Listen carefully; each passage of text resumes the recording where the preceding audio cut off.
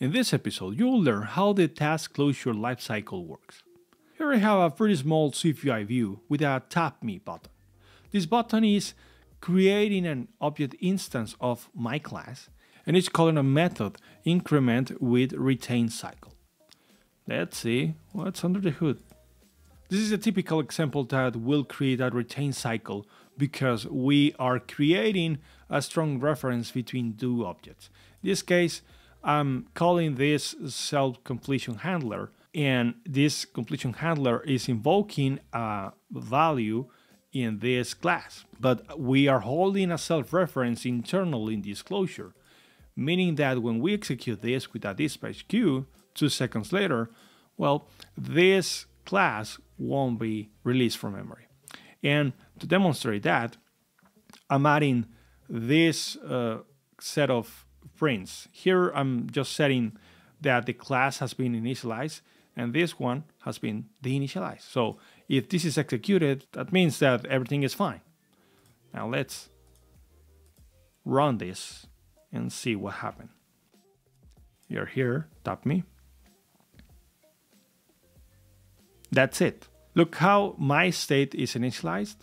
The value has been increased by one, but we never got the, the initialization. So yeah, that's expected because we are creating this retain cycle. And since that we are not holding the reference to this object, we're supposed to release it without any problem. But that's not the case. Now, what is a typical example you have to, or how to fix this kind of issues? Well, it's just the dance of weak, self, in, and then adding the guard, let self, else return. Yep, that is a classic example. Now, let's run again, and now I'll see how the app performs. Okay, if we tap again, my class initialized, value increased, and then the initialize. Yeah, because this is a weak reference, so Swift is just moving things away that uh, after the execution of this instance.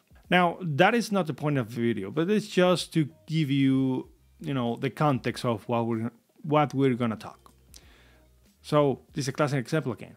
Now, let's move on here because I have like the same example but using a task. We have a this task increment task that is creating a task object, an unstructured task, and we are adding a task sleep for two seconds, and then we are invoking again the value to increase it. Okay, so technically speaking, this task is holding a reference of this object, and well, as we saw, that's supposed to create a retain cycle. By the way, this is a method that we explored in a previous episode when we talk about cancellation. You can take a look if you want to learn more about how to cancel an object. Let's then now review again. What we want is to check if it's initialized, then uh, comparing the value incremented, and then the initializing the object. Let's run this now instead of the previous method and now see what is going on. What would you expect?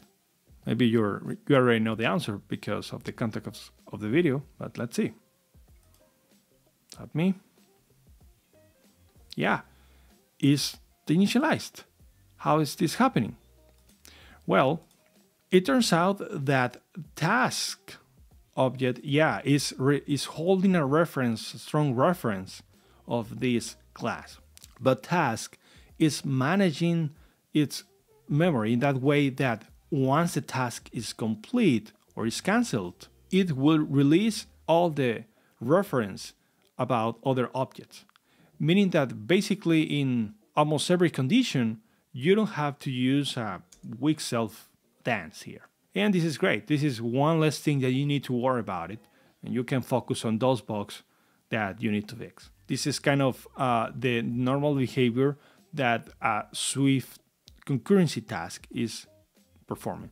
Although I will say, just review the documentation that will leave in the description below, unless they say that in basically in almost every every case, this is the way you need to use a task. So you just create a closure task and do whatever you want.